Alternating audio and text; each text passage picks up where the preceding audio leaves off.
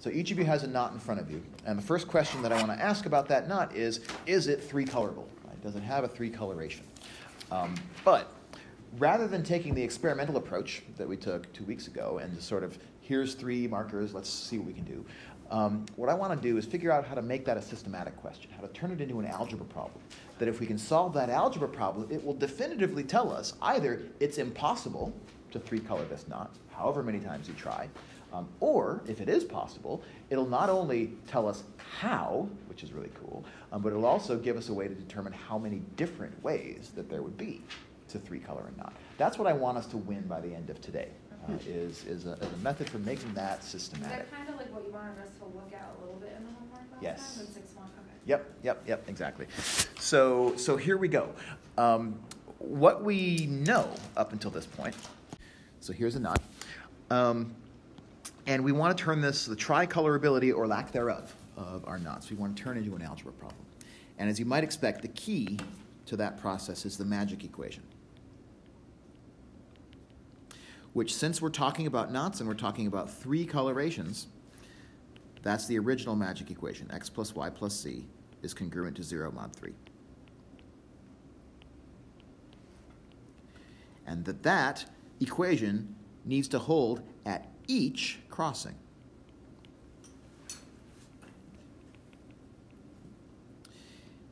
If and only if um, a tricoloration exists. Right? So my knot is tricolorable if and only if I can get x plus y plus z to be congruent to 0 mod 3 at every single crossing. Um, and any different way in which I do that is going to give me a different three coloration uh, for this knot. So the knot that I have up here on the screen is a knot that has six arcs. And so in principle, I have six different things to assign colors to. Um, I have three colors to work with, 0, 1, and 2. So again, let's think of 0 as red, 1 as green, 2 as blue. But I'm going to give you the markers at the end of our process today instead of at the beginning. So all of my colors, x sub i, are going to belong to this set, i from 1 up to 6, uh, where each of those xi is the color of one of my six arcs.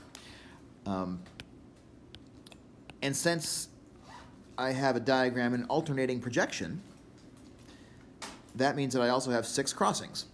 Six arcs, six crossings. And at each crossing, this equation has to hold. So, how we turn this into an algebra problem is we look at each crossing one at a time and come up with a magic equation at each of those crossings. So, how I like to do it is call the crossings A, B, C, D, E, F, label them here in the diagram somehow. So maybe this crossing is crossing A, B, C, D. Here's E, F. Ultimately, it should not matter which order we label our crossings. Right?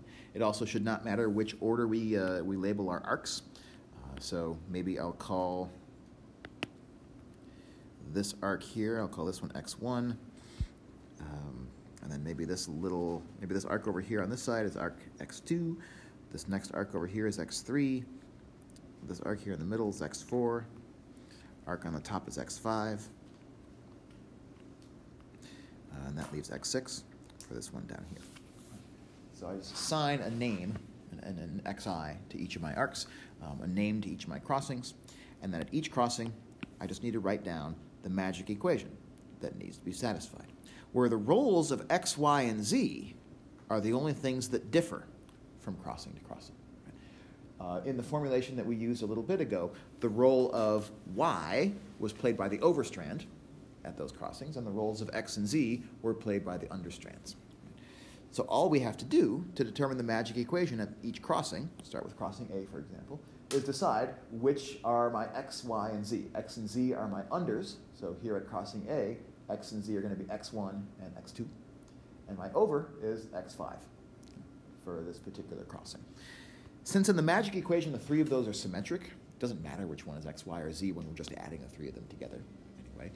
We don't even have to worry about which ones are over and which ones are under. All we have to do in this process is just identify what are the three arcs that come together. Add those three together, set it congruent to 0 mod 3. That gives me the magic equation at those crossings. So at crossing A, it's arcs 1, 2, and 5. Add those, congruent to 0 mod 3. Left That gives me space there on purpose. I am putting space there on purpose. Yes. Yep, absolutely. Then all I have to do is the same thing for all the rest of my crossings. So I'm gonna I'm gonna burn through that real quick. Um, at B, I have strands two, four, and five. At C, I have four, five, and six Like coming together. columns. Yes. Yep. Vertical method. Set yourself up for a little bit easier time here in a minute. Congruent to zero, congruent to zero. Uh, crossing D, I've got 1, 3, and 4. 3 and 4. At crossing E, I've got 3, 6, and 1.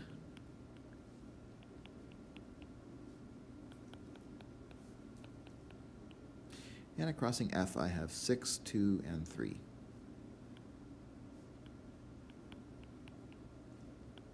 A little bit skew on my columns, but I'm going to have to live with that. I will live with the consequences of my skewness.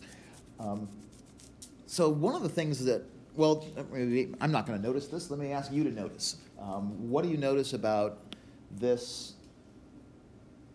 What I have now is a system of six equations in six variables. What do you notice about this system um, that gives us a kind of a, a hint to, you know, at least whether or not it's, it's the right description uh, of this knot? Yes, so each arc appears three times, and also in each row, There's three. there's only three, right? So every equation has three non-zero coefficients in it, and every arc appears in exactly three of the equations.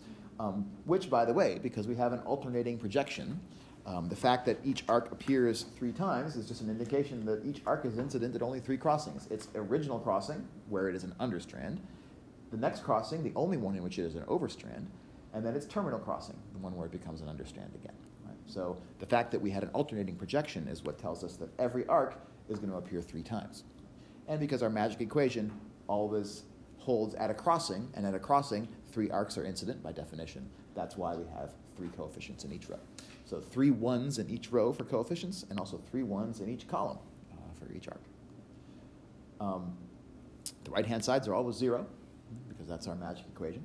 Um, and these now need to be congruent to 0 mod 3. Um, so, all we need to do now, all we need to do now, is figure out whether this system of six equations and six unknowns has solutions. And if it does have a solution, how many solutions does it have? Um, so this becomes not just an algebra problem, it becomes a linear algebra problem. Um, but it becomes a linear algebra problem of kind of an unfamiliar type for us. We're used to doing linear algebra where we have equal signs here, not congruence mod 3 signs. So when we do the linear algebra that we have to do today, we have to be doing it using arithmetic in the integers mod 3. Um, so that's going to be the degree of difficulty for us today. Uh, and from time to time, we'll also find it useful to use technology. So you have your devices uh, today that are, that are going to be capable of doing this. Um, once we have the system, we can code it into a computer and find out what its solutions are. Um, but I want for us to do the arithmetic by hand just once or twice uh, to get a feel for how it works. Um, and then afterwards, we can, we can use the technology for it. So in linear algebra, how would you approach uh, solving a six by six system or you know any system? Let's turn it into right. Let's let's turn it into matrix formalism. So for that, we would just replace all these equations with just their coefficients of variables because that's all that matters. Because they're linear equations, the form of the rest of it has to follow. And if I do that, I end up with this six by six Just a bunch of matrix. It's a bunch of ones and zeros, exactly. Um, so I'm going to get ones, three ones in each row. So in fact, all the row sums of this matrix are going to be the same. They're going to be three. And the column sums of this matrix are also all going to be the same. They're going to be threes. I'm really quickly running out of space here. One, three, and four. One, three, and six. Uh, and I don't have room for my last row here. So the matrix that we would be using to investigate the consistency solutions of this linear system uh, would look like this, with zeros everywhere that I left a blank. So sort of fill in the rest of these zeros while I'm talking. And so once we have this matrix written down, we would also, in principle, if this were any old linear algebra problem, we would include these right-hand sides of this equation uh, on the other side of a, an augmentation bar. That's what we use typically in linear algebra. So this would be an augmented matrix um, that we could then, in principle, use to determine the, the solutions for this system. Okay, um, how? So how do we get from here to there? Uh, what do we want to do with this matrix uh, in order to, to figure out whether it has the solutions that we're looking for? reduced row echelon form. Reduced row echelon form. So what we Which need to do. done in 12 Yeah, so this is a throwback. So I, I, I wrote in my in my lecture notes for today. Let's spend some time reviewing reduced row echelon form. Um, so yeah, calc- well, calculator is how you would do it. Yeah. You know, usually because the you know honestly, reduced row echelon form for a matrix when you're solving it over the rational numbers gets pretty hairy pretty quickly because fractions pop up a lot, right? Um, and as soon as fractions pop up, they tend to perpetuate and they tend to get worse uh, the more that you more row operations that you have to do. Um, fortunately for us, modular arithmetic doesn't have fractions. I mean, it does, but every fraction in a, in a modular ring can be expressed, re-expressed as just another integer. Right? Um, so at least fractions aren't going to be our concern. Our concern is going to be keeping track of how to do arithmetic, how to do addition and multiplication mod 3. Um, so let's, for example, um, in, in the process of row reduction, or sometimes called Gaussian reduction or Gaussian elimination, there are three different operations we can do. What are those three operations? Three elementary row operations is what we call them in linear algebra.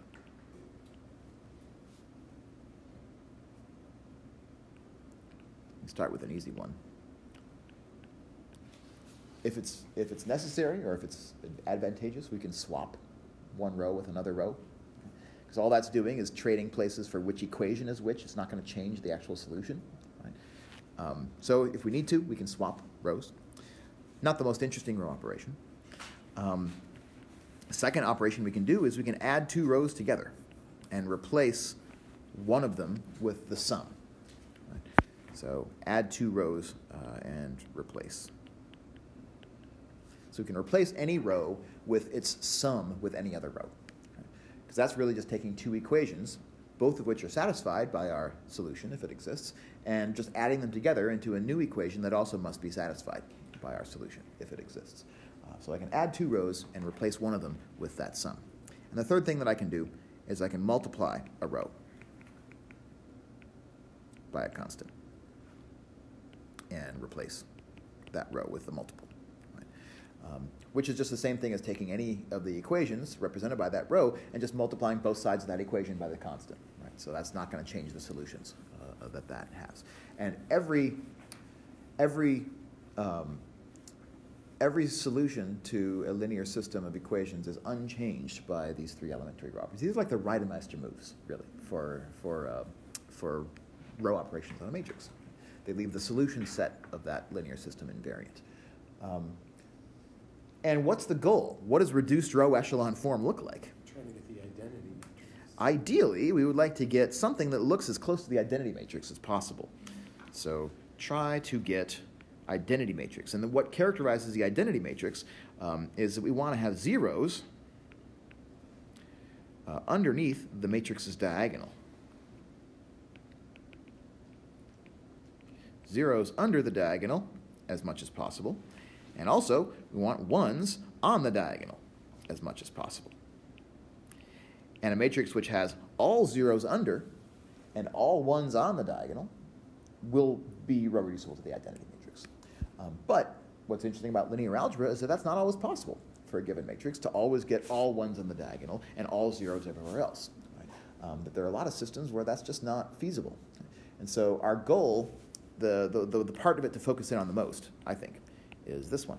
Get as many zeros underneath the diagonal as possible. And to be clear, the diagonal refers to um, the entries in the matrix which start at the upper leftmost and then continue in uh, exactly the northwest to southeasterly direction, right? So it's not really showing up on the screen very well, uh, but it's this line going that way. So I want all the entries underneath here to be made zero. Um, and once that happens, I can then also try to get all the entries above the diagonal to be made zero as well. So let's, let's try that process. Um, and we're going to do so using, uh, using arithmetic mod 3. So just so that we have a crib sheet for ourselves, uh, we can come up with an addition table for addition mod 3. All right, so with our addition table in hand, let's maybe look below the diagonal of this matrix and maybe in the first column focus on one of the entries and try and get that first non-zero entry that we find, which I'm finding right here, focus in on that and try to make that equal to zero. Um, so how I can clear out that entry and make it zero is I can try taking the rows below it and adding those rows into it to try and make it into zero. So what happens if I, I'm going to add my E row, row E. I'm going to add it together with row D. So that's, that's row operation number two, right? Add the two rows together and replace one of the rows by the sum. Um, so I'm just going to replace every entry in this D row by the sum of what was there added to what's below it. So 1 plus 1 is going to be 2. So not 0, but 2. That's okay. We'll patch that up in a minute. 0 plus 0 is going to give me 0. 1 plus 1 here is going to give me 2. Um, and then I've got 1 plus 0, that's going to stay 1. 0 plus 0 is going to stay 0. 0 plus 1 is going to take me to 1 in this entry. And 0 plus 0 on the right-hand side remains the same. So I haven't gotten the 0 that I was looking for, but I will if I add row E one more time. That's why I say we can get away probably without multiplying rows. We can just add rows enough times. Uh, that's going to get us back around to 0. Because now 2 plus 1 is going to give me 0. And I got the 0 I was looking for. 0 plus 0 is 0. Uh, 2 plus 1 here is also going to give me another 0. So we actually got 2 for the price of 1 there. Um, 1 plus 0 is 1. 0 plus 0 is 0. 1 plus 1 over here is going to give me 2. But now I've got the 0 that I was looking for. And then I might next focus on the one that I have here, um, which it looks like uh, I can't really do much with unless I were to maybe try adding row E, adding some copies of row A in to eliminate this 0 down here, or eliminate this 1 down here in row E. Um, and if we continue this process long enough, uh, eventually we can clear out all of the 1s and if there were twos, we would clear out all the twos underneath the diagonal. Once we've cleared out all of the entries underneath the diagonal, um, at that point we should be able to tell uh, what the reduced row echelon form of this matrix will look like. Um, let me invite you to just get a little bit of practice with this modular arithmetic um, by taking the next few minutes and trying to clear out the remaining four ones uh, that, are, that are underneath the diagonal here, um, and then see what happens at the end of that process. To clarify, the row operations that are valid in linear algebra are multiplication by a non-zero constant. Ah. And so multiplying a row by 3, That's mod 3, is the same as multiplying by 0, right? Otherwise, we could get as many zeros as we want in my matrix just by multiplying the rows by 0. Right. Um, but then that loses information. I, uh, I forget some of the intricacies of uh, matrix operations. Yes, as you, as you do when you don't work with matrices very often. Um, so at least it, it, gives us an algorithm, at least, to figure out um, uh, how to get this matrix into its reduced row echelon form. Um, but let's use technology to, to bootstrap our way uh, up into it. We need technology that can do linear algebra, but can do it over a modular arithmetic system. Um, and that technology um, is probably better, the, probably the best version is any computer algebra system. So if you've used Maple or Mathematica or one of those types of programs as part of your undergrad program here at Bridgewater, um, those are good examples if you still have access to that software.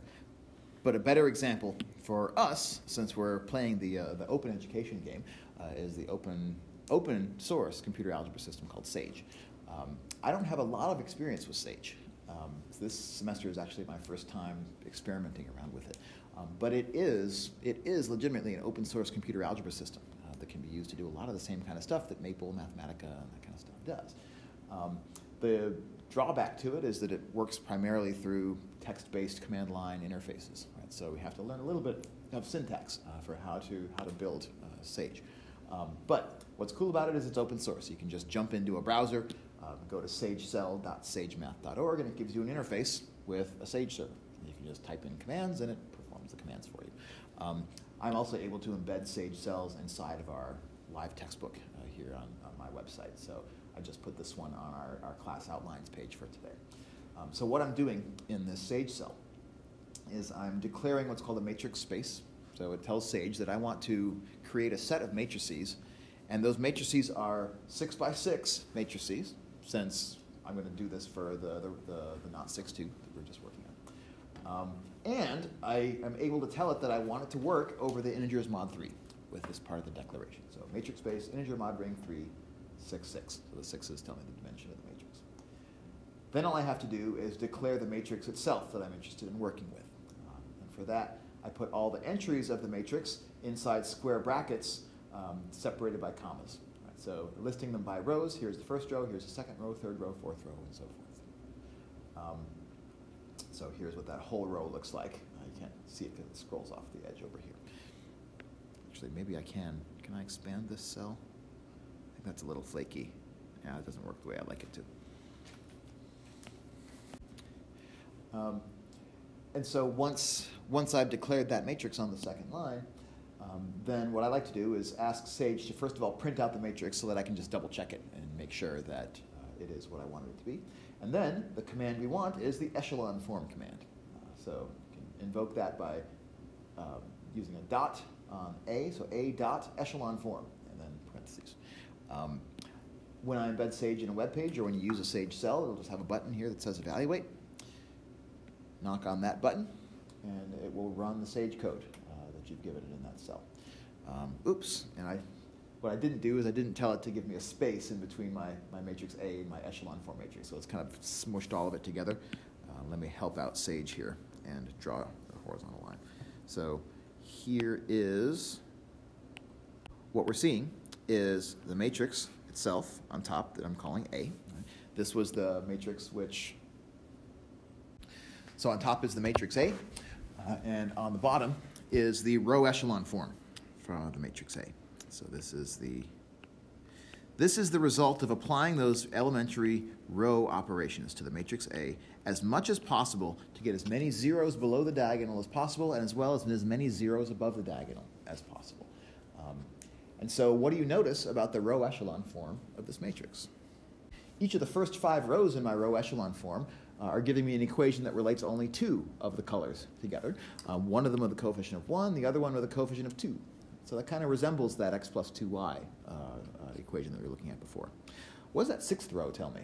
It's kind of the same thing, isn't it? Like x6 plus 2x6. Uh, well, except that the coefficients of those x6s are actually 0. Yeah, but in mod 3, mod 3, would that be 3x6? Sure.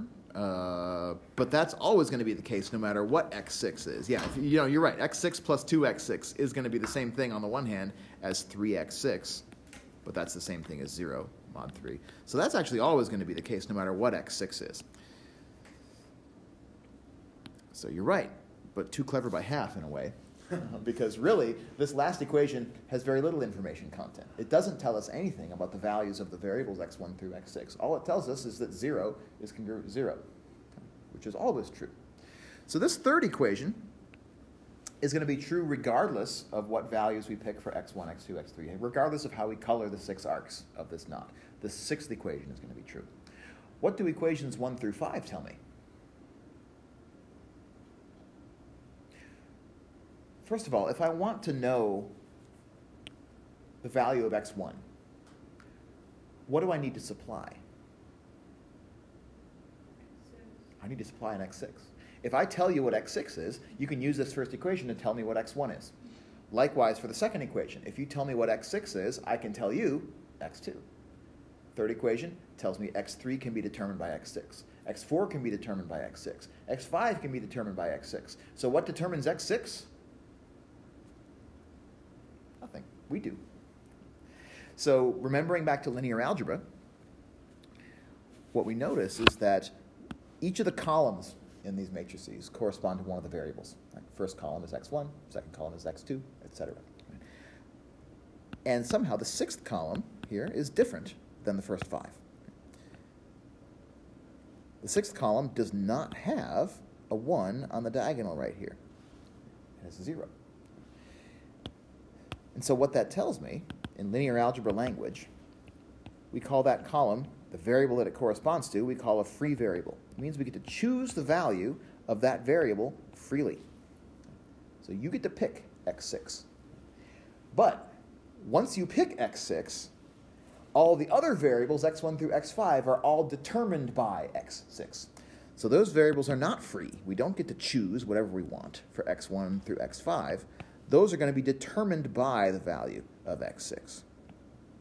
So we call those determined or bound or defined variables. I like bound. x1 through x5 are all bound. And so the scheme here, if I want to determine a solution for this linear system, is that I get to choose x6 however I like, but then I use that value to determine x1 up through x5. Moreover, let's be more explicit about what that looks like. Let's solve each one of these equations here for x1 through x5. I can do that by subtracting 2x6 from both sides. But what's negative 2 mod 3? It's 1. So I could also just add 1x6 to both sides of these five equations. So let's add 1x6 to both sides of each of these five equations. It's going to remove my x6s from the left side, and it's going to reintroduce them on the right side. x6, x6. So once I choose a value for x6, what values do x1 through x5 have? The same value as we chose for x6. So, how we come up with a coloration for this knot is to choose the color of the sixth arc. It can be any color we like. We have three choices 0, 1, or 2. But then once I choose x6,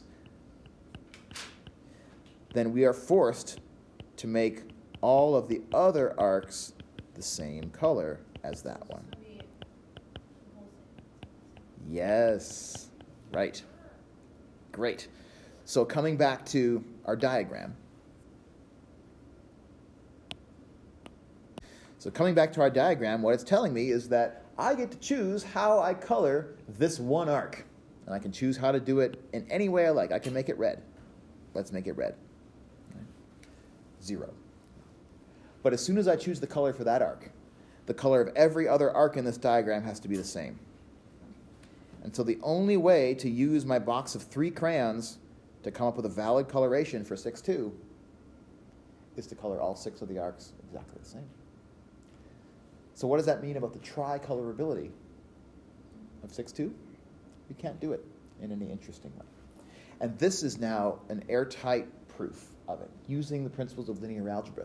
Any way that exists to tricolor this knot, 6-2, is exactly going to be a solution of this linear system of equations. But the only the only solutions of this linear system of equations are those in which all the colors are equal.